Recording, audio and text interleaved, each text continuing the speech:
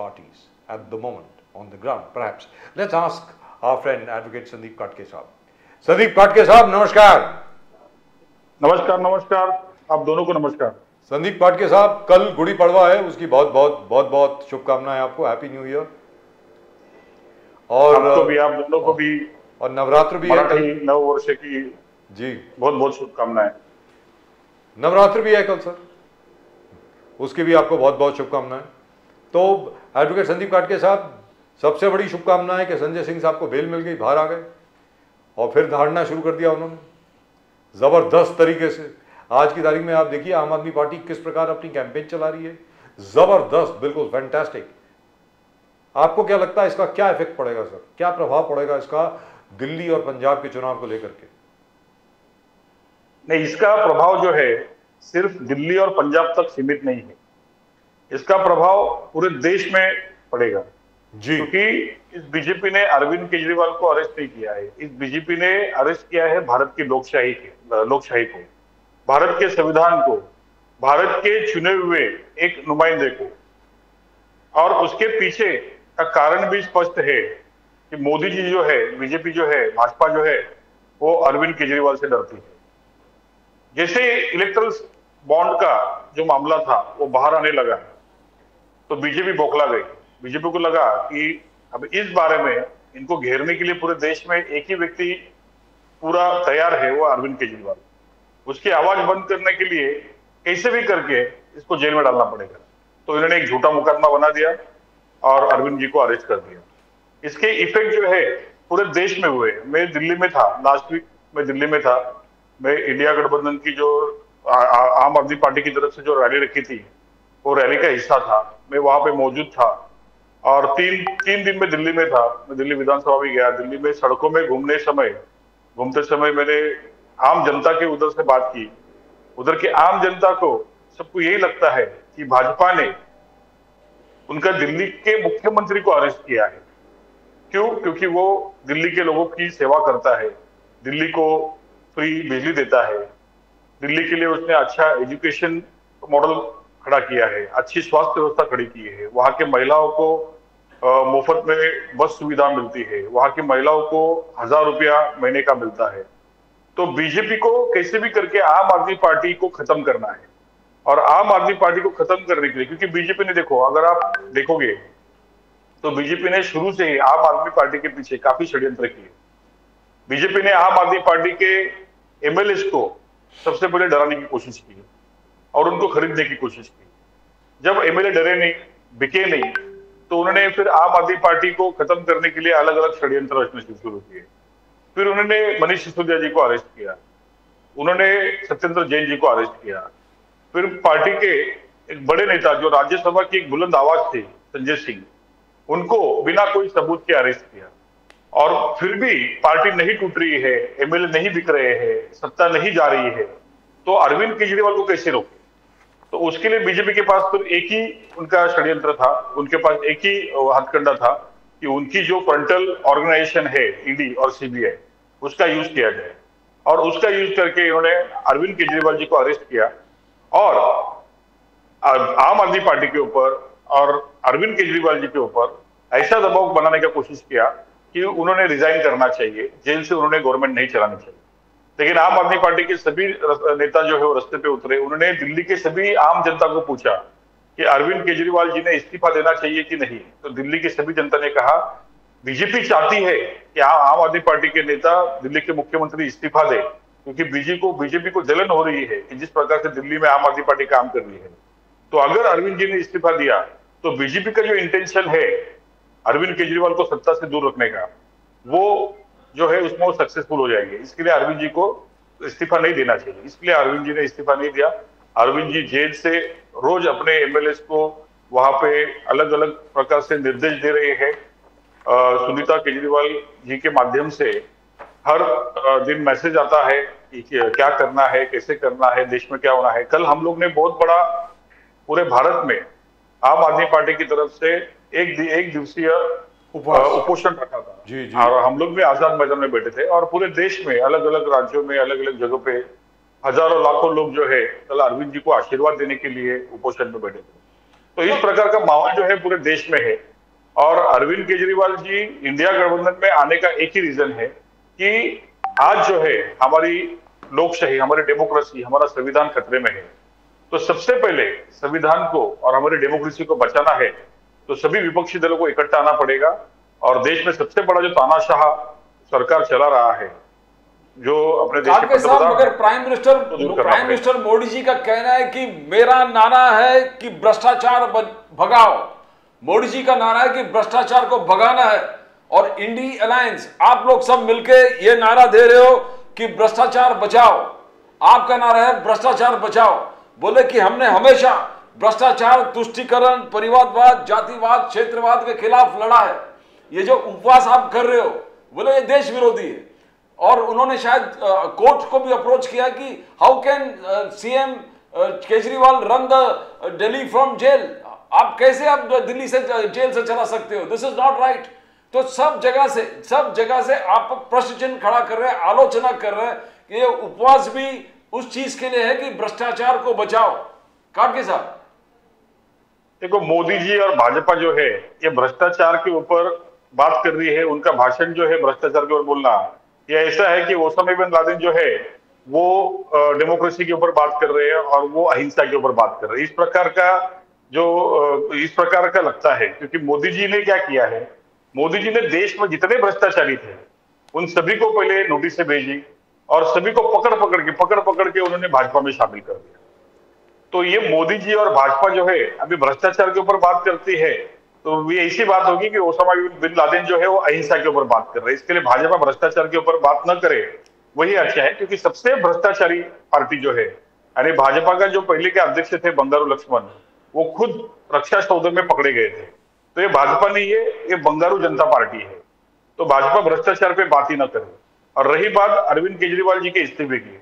तो बीजेपी के अलग अलग ग्रुप के माध्यम से दिल्ली हाईकोर्ट में भी दो याचिका गई। और दोनों याचिका खारिज तीन। तीन। आज तीस- आज तीसरी याचिका गई। गई है सर। हाँ आज तीसरी याचिका गई है। जी। तो हाईकोर्ट ने उसको हेवी कॉस्ट इम्पोज करने को लगाया है कि घड़ी घड़ी एक ही मुद्दा लेके हमारे पास नहीं मत आओ क्योंकि ऐसा कोई प्रोविज़न नहीं है। अगर आपके अपने संविधान में या अपने कानून में कोई प्रोविज़न रहेगा कि जेल से कोई सरकार नहीं चला सकता है तो वो प्रोविज़न दिखाओ। घड़ी घड़ी हर समय इस प्रकार की याचिका जो है कोर्ट के सामने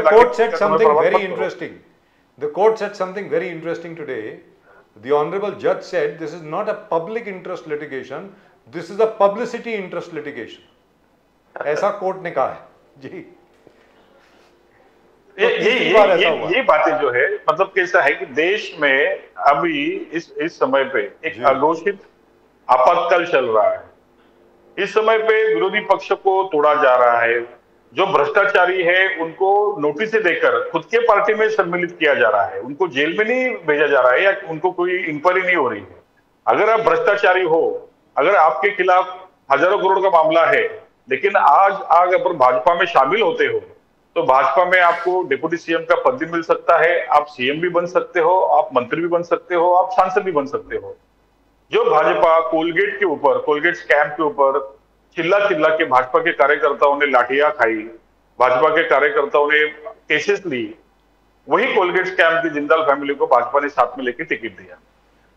किरीट सोमया जी को कल एक पत्रकार ने पूछा था कि आपने इतने आरोप लगाए, इतने नेताओं के ऊपर भ्रष्टाचार के आरोप लगाए, लेकिन वही भ्रष्टाचारी नेता साहब आप बीजेपी में शामिल हुए तो इसके बारे में आपको कैसे लगता है?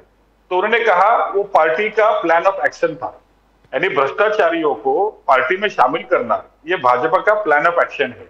तो भाजपा जो है, अरविंद मतलब ऐसा हो गया ना कि देश में लोगों को मालूम पड़ रहा है कि सबसे बड़ी भ्रष्टाचारी पार्टी जो है, वो भारतीय जनता पार्टी है। और उस पार्टी को अगर खुद को इनोसेंट साबित करना है लोगों के सामने तो उनको किसी ना किसी को भ्रष्टाचारी बनाना पड़ेगा, किसी ना किसी को बलि का बकरा बनाना पड़ेगा। तो वो बलि का बकरा बनाने की कोशिश कर रहे हैं अरविंद केजरीवाल को। क्योंकि अरविंद जी ने इंडिया अगेंस्ट करप्शन के माध्यम से पूरे देश में जो करप्शन के अगेंस्ट में माहौल बनाया और जिस प्रकार से उन्होंने दिल्ली और पंजाब में टू थर्ड मेजोरिटी सत्ता हासिल की और वहाँ पे जिस प्रकार से केजरीवाल मॉडल ऑफ़ गवर्नेंस ये एस्टेब्लिश किया और उस मॉडल की वजह से पूरे देश में अरविंद जी की जो पब्लिसिटी हुई है अरविंद जी को जो एक्सेप्टेंस मिला है, आम आदमी पार्टी सबसे छोटी पार्टी थी जिसको अमित शाह जी ने सुपर इतनी पार्टी बोली थी। लेकिन यही सुपरियरी पार्टी जो है वो मोदी जी के अभी एक छोटी चीटी बनकर मोदी जी के कान में घुसकर ये अभी मोदी जी को परेशान कर रही है। काटके साहब तो काटके साहब करके- ये जो संजय सिंह को जो बेल मिला संजय सिंह को बेल मिला एक टर्न ऑफ़ इवेंट्स हुआ था। क्या आपको लग रहा है कि अभी सुप्रीम कोर्ट सही प्रश्न पूछने लगे हैं?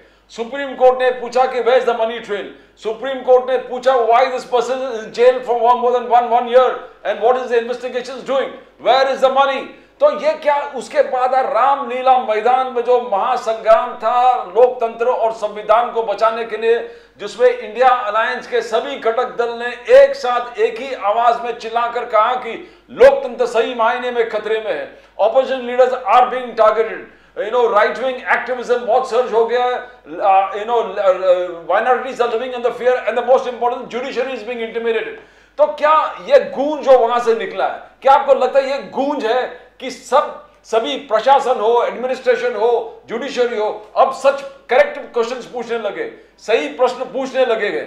और संजय सिंह का बेल एक सही दिशा में जा रहा है कि अब लोग जागने लगे हैं। क्या आप काटके साहब कैसे देखते हो आप? देखिए, हमने पिछले समय भी चर्चा की थी कि जो पीएमएलए कानून है पीएमएलए कानून में ऐसा होता है कि you are guilty unless proven innocent तो अगर किसी को आपको मतलब वो व्यक्ति के ऊपर है, जो आरोपी है, उसको साबित करना है कि वो इनोसेंट है। लेकिन जब आपको इन्वेस्टिगेशन के लिए पूरा मौका मिलता है और पूरे इन्वेस्टिगेशन के बाद में, छह महीने हो गए, छह महीने में आपने काफ़ी इन्वेस्टिगेशन किया और जब बेल पिटीशन सुप्रीम कोर्ट के सामने आता है और सुप्रीम कोर्ट जब ईडी को पूछता है कि भाई तुम्हारे पास में इनके खिलाफ क्या सबूत है तो ईडी निशब्द हो जाती है। ईडी इसके ऊपर कुछ ऑब्जेक्शन लेती नहीं क्योंकि ईडी के पास कोई प्रकार का सबूत ही नहीं कोई मनी ट्रेल नहीं है। तो इसलिए कोर्ट को मजबूरन बेल देना पड़ता है। मतलब ये कोर्ट की मजबूरी बन जाती है कि भाई ये आदमी ने कुछ किया नहीं है prima facie offence is not made out then how can we keep this person behind the bars long time? And he is not a normal common uh, common man. He is a member of parliament he is a senior leader. तो court की मजबूरी है ये कि bell देना है। बाकी के मामले में कैसे अभी मनीष सिसोदिया जी जी भी दो साल से कस्टडी में है। लेकिन उनके बारे में जब बेल का मामला आता है तो ईडी ऑब्जेक्शन देती है। ईडी अलग अलग कुछ हथकंडे वहाँ पे दिखाती है। तो इसकी वजह से उनकी बेल मतलब नहीं हो पा रही है। लेकिन संजय सिंह के, संजय जी के मामले में, क्योंकि संजय सिंह जी का कुछ इसमें इन्वॉल्वमेंट ही नहीं था। और वही जो है क्योंकि अरविंद मनीष सिसोदिया जो है एक्साइज मिनिस्टर थे तो उनके लिए वो सॉफ्ट टारगेट था। लेकिन संजय सिंह जी ना ही कोई एडमिनिस्ट्रेशन में थे ना ही पॉलिसी मेकिंग में थे ना कि ना ही कोई ये पूरे चीज़ों में कहीं शामिल थे। उनको बस वो अदानी के खिलाफ बोलते हैं बीजेपी में बोलते हैं बोलते हैं बीजेपी के खिलाफ बोलते हैं और राज्यसभा में जिस प्रकार से बोलते हैं तो उनकी आवाज़ दबाने के लिए उनकी आवाज़ कुचलने के लिए उनको जेल में रखा गया। और वही सेम जो है उन्होंने अरविंद जी के साथ में किया है। तो So अरविंद जी भी आने will वाले समय में? छूटने वाले हैं। जी तो आपको क्या लगता है सर अरविंद जी कब तक आ जाएँगे बाहर? देखो इनका क्लियर कट एजेंडा जो है वो अरविंद जी को लोकसभा इलेक्शन तक अंदर रखने का है। जी। तो इसके लिए अगर अरविंद जी की बेल पिटीशन पे जाती है तो ईडी अलग अलग तरीके के झूठे सबूत भी वहाँ पे पेश करेगी। कोर्ट को डाउट क्रिएट करेगी कोर्ट के मन में और बताएगी कि अरविंद केजरीवाल जी जो इसमें शामिल है तो कम से कम छह महीना जो है वो ईडी के पास पावर है कि उनको बेल नहीं मिलने के लिए वो अपोज कर सकते हैं। तो ये उस समय तक पूरा इलेक्शन जो है खत्म हो जाएगा क्योंकि बीजेपी का एजेंडा वही है। अगर बीजेपी 400 पार हो रही है मोदी जी का जो नारा है 400 पार का अगर वो 400 पार का नारा अगर पूरा हो रहा है तो उनको क्या ज़रूरत पड़ रही है? मैं समझता हूँ कि बीजेपी ने अरविंद जी को अरेस्ट करके सेल्फ गोल किया है। अब ये सेल्फ गोल जो है उनको मालूम पड़ने वाला है। ये जो मैटर है क्या नाम है उनका? क्या? शरद चंद्र रेड्डी साहब जो है। शरद चंद्र रेड्डी। जी वो अरबिंदो फार्मा के। उनका जो मामला है अब दूसरी तरफ़ से ये बात आ रही है वो तो बहुत पहले से बीजेपी के सपोर्टर रहे हैं बीजेपी को दे रहे थे पैसे वो तो ये भी कहा उनके रिश्तेदार को अभी बीजेपी के टिक- इनके इससे टिकट भी मिली है तेलुगु देशम पार्टी से। तेलुगु देशम पार्टी से टिकट मिली है और उनकी और उनका अलायंस बीजेपी के साथ में। मोदी जी की तस्वीर के साथ वो चुनाव भी लड़ रहे हैं अब तो। यस बीजेपी सबसे बड़ी भ्रष्टाचारी पार्टी जो है आप देखो रेड्डी बंधु। रेड्डी ब्रदर्स जिसके बारे में बीजेपी के ही कार्यकर्ताओं ने लाठियाँ खाई केसेस लिए आज रेड्डी ब्रदर्स शामिल है। जो जो स्कैम के ऊपर जो जो स्कैम के ऊपर बीजेपी के बेचारे कार्यकर्ता जो है उनके अंधभक्ति में उन नेताओं के खिलाफ जिन्होंने जिन्होंने आंदोलन किया और अपने बदन पे लाठिया खाई पुलिस के मुकदमे झेले वही नेता जो है आज बीजेपी में है और उनको आदेश दे रहे हैं जिसने लाठियाँ खाई। तो इस प्रकार की प्रताड़ना जो है बीजेपी के कार्यकर्ताओं के आज हो रही है। तो आज जो बार बार क्या आपको देखो there is no doubt that लोगों के सिंपति पूरे दिल्ली और जहाँ भी आम आदमी पूरे केजरीवाल जी के साथ है Aam Aadmi party there is no doubt about it the people are you know sad about the way things are happening लोग uh, महसूस कर रहे हैं कि गलत हो रहा है। बट जिस प्रकार से कुछ दिनों पहले हमने देखा कि भगत सिंह जी के कोई रिश्तेदार आके uh, जो वंशज में आते हैं वो आके कह रहा है कि आप भगत सिंह का इस्तेमाल गलत तरीके से कर रहे हो। भगत सिंह जी का जो है, वो देश के लिए अपने जान न्यौछावर करने वाली बात थी। ये ये ये तो लिकर स्कैम है लिकर स्कैम तो ये कैसे? Do you think this is a plant ये किसी ने प्लांट किया? ये किसी बीजेपी का how do you see the entire thing Bhagat Singh ji का अचानक फैमिली का ऑब्जेक्शन है कि आप केजरीवाल जी, आप भगत सिंह जी का गलत उपयोग नहीं कर सकते। Do you think that this is a political ploy काटके साहब? देखिए बीजेपी का हमेशा से काम यही रहता है कि एक प्रकार से नैरेटिव नैरेटिव जो है सेट करो और उस नरेटिव को मीडिया में इस प्रकार से बताओ कि लोगों को वो चीज़ें सच लगने लगेगी। भगत सिंह के सच्चे चेले अगर कोई है तो आम आदमी पार्टी के नेता है। भगत सिंह के रिश्तेदार बनने से वो भगत सिंह को मानने वाले और भगत सिंह को जानने वाले और भगत सिंह के चेले कोई बनते नहीं है। भगत भगत सिंह के चेले बनने के लिए उस प्रकार का आपको सेक्रीफाइस करना पड़ता है, उस प्रकार का योगदान देना पड़ता है, उस प्रकार का देश प्रेम आपको चाहिए कि आप देशवासियों के लिए फांसी पे चढ़ने के लिए भी तैयार हो। और वो स्पिरिट जो है आम आदमी पार्टी के सभी नेताओं में। आपने देखा रहेगा कि आम आदमी पार्टी के ऊपर बीजेपी ने इतने हमले किए बीजेपी ने आम आदमी पार्टी के इतने नेताओं को ईडी द्वारा परेशान किया अरेस्ट किया दिल्ली में काम करने नहीं देते एलजी के माध्यम से दबाव डालते हैं कॉरपोरेशन में काम करने नहीं देते। लेकिन फिर भी सर पे सर पे कफन लेके आम आदमी पार्टी के लोग जो काम करते हैं, रस्ते पे उतरते हैं, आंदोलन करते हैं, सत्ता में रहने के बावजूद पुलिस की लाठियाँ खाते हैं। तो ये जो है, ये भगत सिंह के सच्चे वारिस है। अभी अगर उसके बारे में अगर किसी को कुछ गलत फहमी में अगर कोई बोलता रहेगा या किसी ने उकसाया रहेगा, किसी ने मिसलीड किया रहेगा तो उसके बारे में मैं कुछ टिप्पणी नहीं करना चाहता हूँ लेकिन जहाँ तक भगत सिंह जी की बात है हम सब भगत सिंह जी के चेले हैं। अगर हम इन व्यवस्था से डरते अगर अरविंद जी इस व्यवस्था से डरते तो जैसे बाकी लोग शामिल हो गए बीजेपी में बेशर्मी से उसी बेशर्मी से हम भी शामिल होते। लेकिन हमने वो, वो नहीं था वो नहीं किया क्योंकि हम सर ये भगत सिंह जी का पोता या परपोता कहाँ से आ गया? शहीद सरदार भगत सिंह शहीद आज़म भगत सिंह की तो कभी शादी नहीं हुई तो मतलब ये कौन है?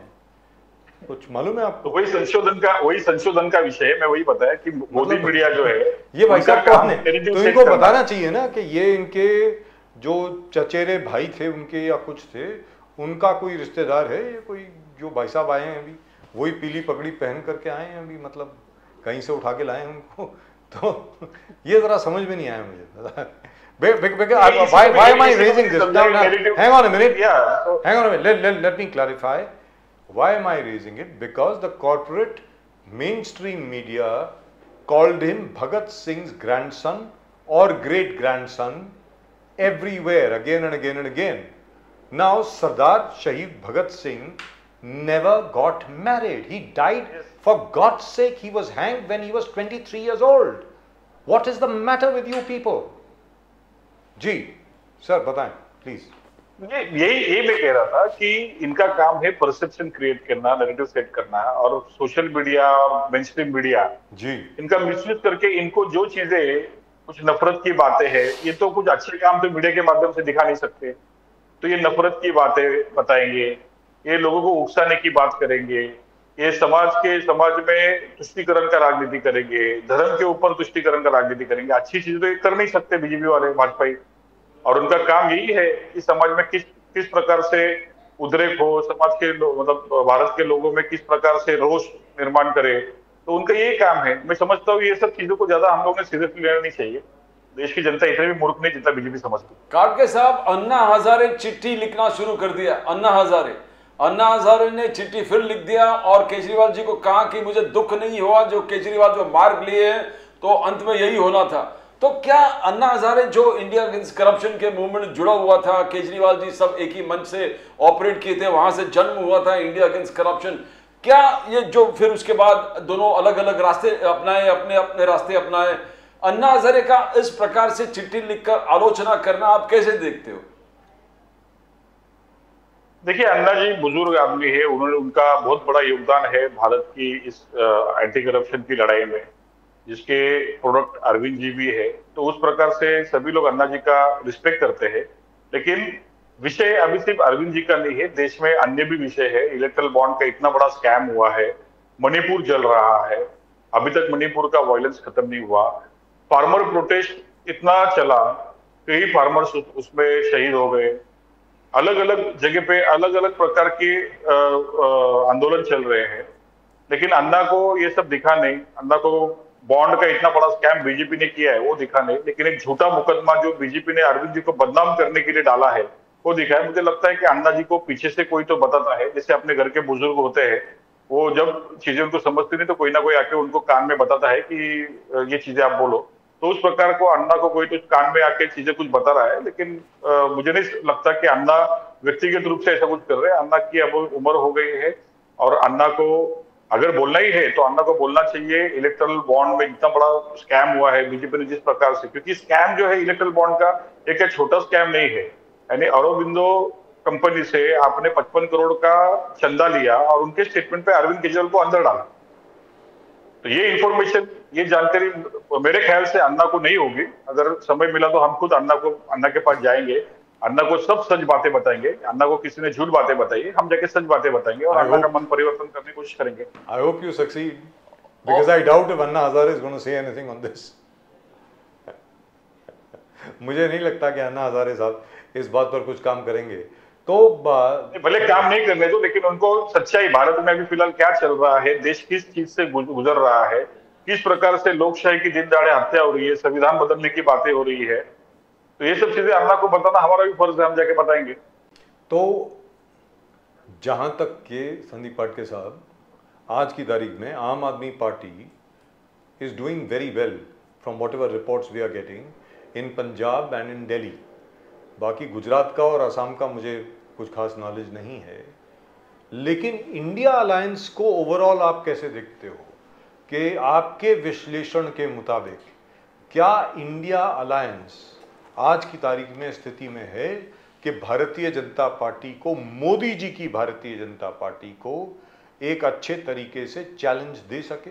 Is it do you think they have it in them देखिए इंडिया अलायंस का मोदी जी को इतना बड़ा चैलेंज है और वही चैलेंज के डर से मोदी जी जो है इस प्रकार का काम कर रहे हैं।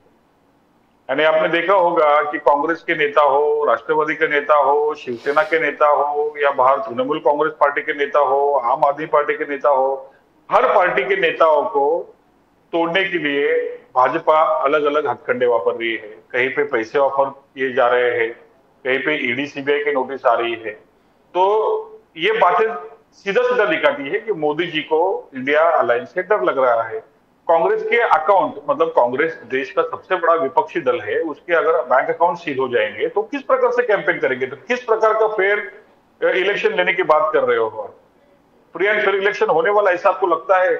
जिस प्रकार से आपने सुप्रीम कोर्ट के कॉलेजियम को चेंज करने के लिए बात की, जिस प्रकार से आपने इलेक्शन कमीशन का जो नियुक्ति होती है अपॉइंटमेंट होती है, जिस प्रकार से आपने उसमें बदलाव किया ये क्या वाइब्रेंट डेमोक्रेसी के कारण रीजन है? ये क्या वाइब्रेंट डेमोक्रेसी को दर्शाते हैं?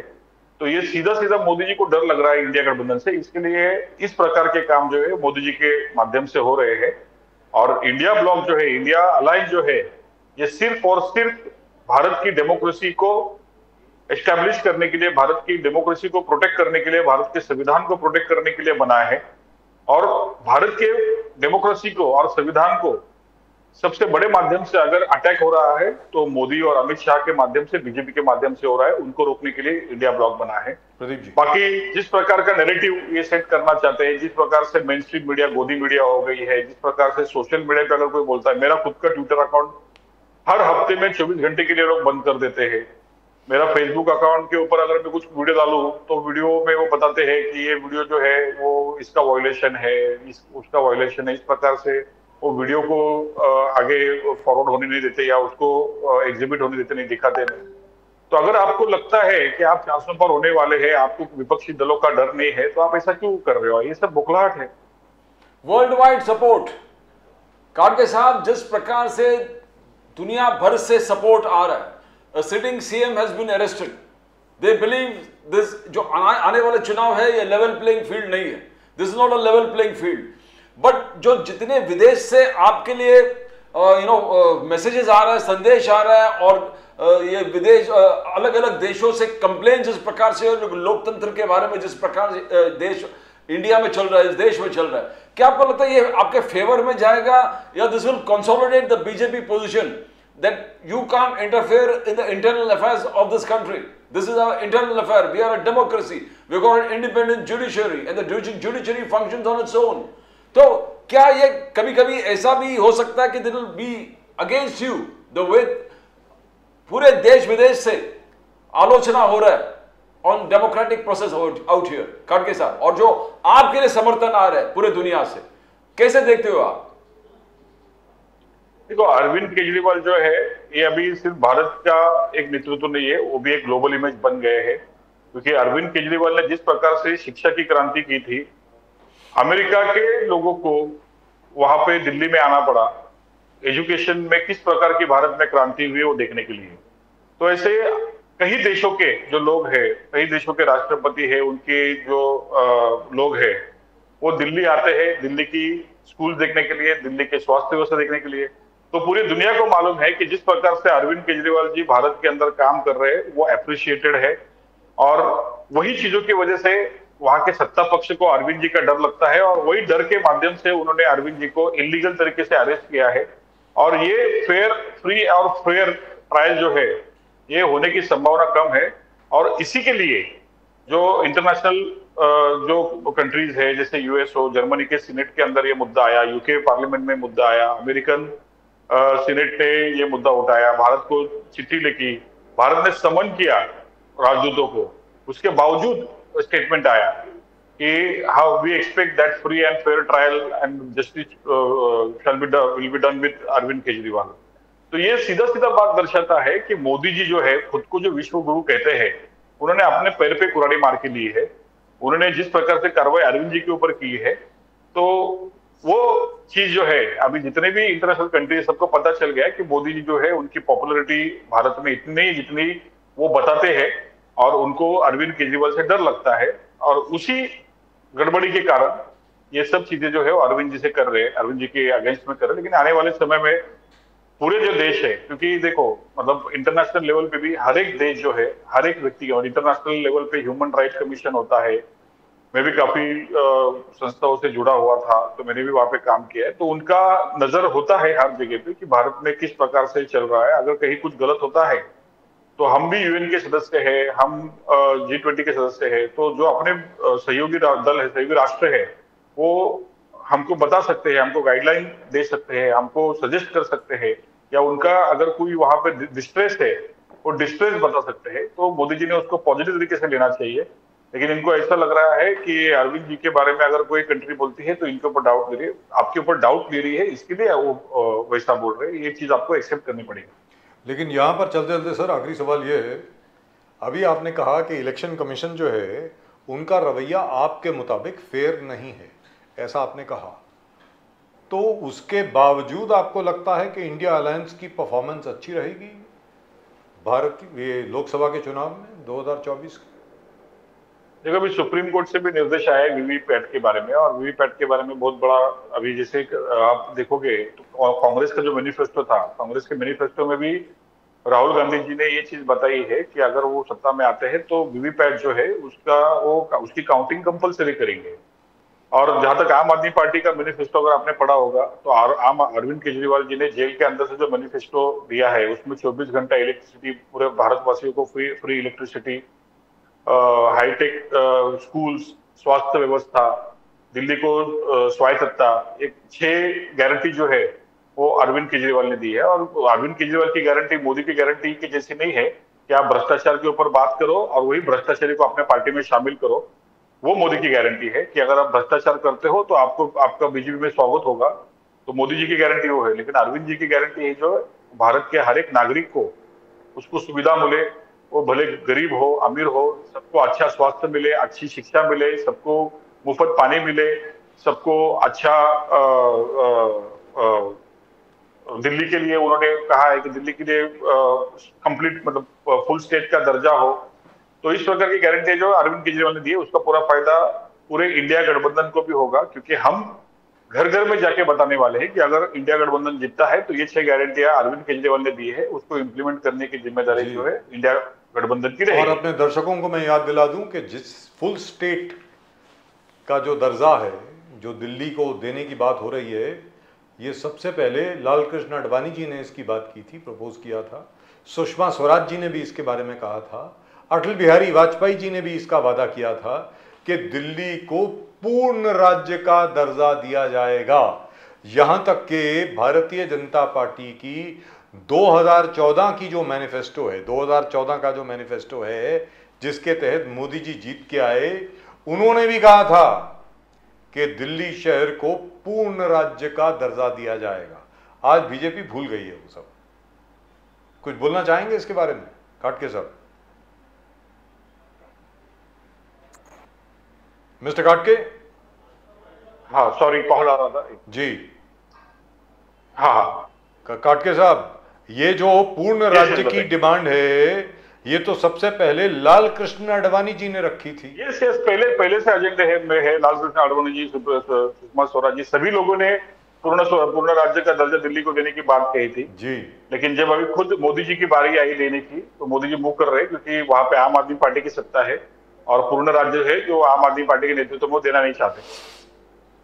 I think that India alliance जो राहुल गांधी जी मैनिफेस्टो रिलीज़ किया था उसमें क्लियर कट दिल्ली के बारे में बोले थे the council of ministers will decide what the LG has to say accept on three matters तो do you think this is going to be a change एक रेवोल्यूशन होगा वे दिल्ली इज़ कंसर्न्ड कि कांग्रेस ने स्पष्ट किया कि we want this things LG can not dominate politics where Delhi is concerned करके साहब देखो, कांग्रेस का बेनिफिट जो मैंने पढ़ा तो उसमें हर चीज़ों को कांग्रेस ने स्वायत्तता दी है। कांग्रेस ने सुप्रीम कोर्ट की कोलिजियम की स्वायत्तता को मान्य किया है।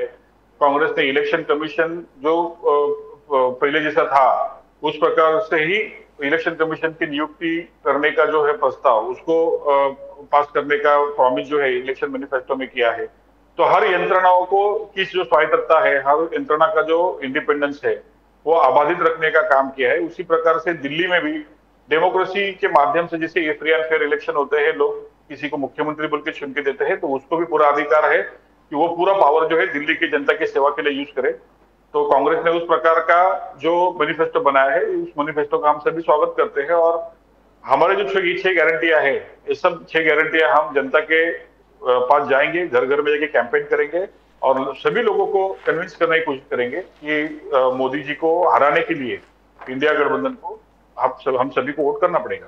चलते चलते, काटके साहब, ये भी बताते रहे, बताते चले कि क्या आपके, खुद के जहन में अरविंद केजरीवाल जी कब तक आ जाएँगे बाहर? आपको क्या लगता है? देखिए सबसे पहली बार तो अरविंद जी अरविंद केजरीवाल जी का अरेस्ट ही इलीगल है। जी। अगर उनको इलीगल डिटेन किया है तो उनके खिलाफ कुछ सबूत बीजेपी ने बनाए हैं कॉन्स्परेसी की है।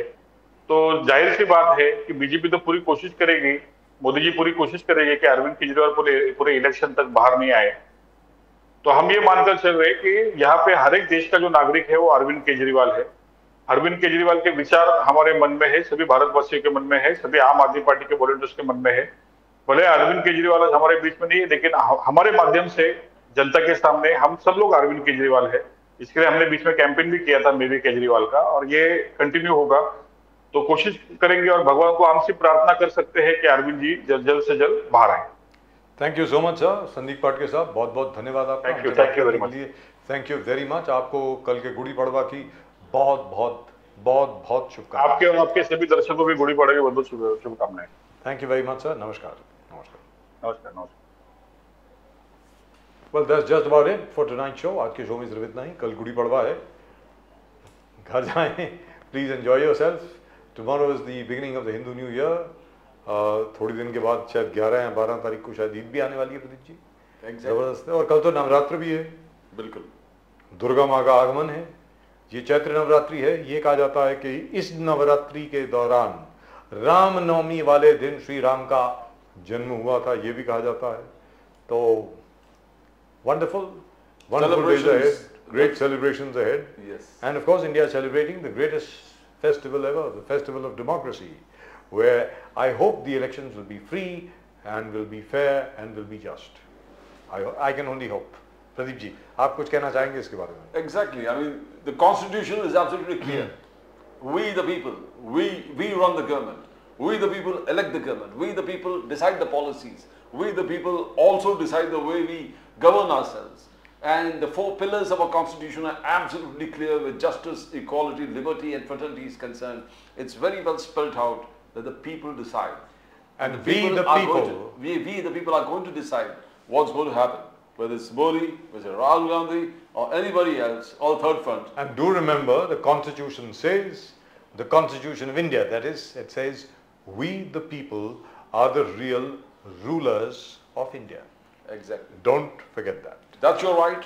See that we do it, exert it in a very, very right manner. आप सब लोगों को गुड़ी पड़वा की बहुत बहुत शुभकामनाएँ नवरात्र की भी बहुत बहुत शुभकामनाएँ प्रदीप जी और मेरी तरफ़ से आप सब लोगों को नमस्कार जय हिंद जय महाराष्ट्र जय भवानी जय शिवाजी जय सिया राम हर हर महादेव। हर हर महादेव।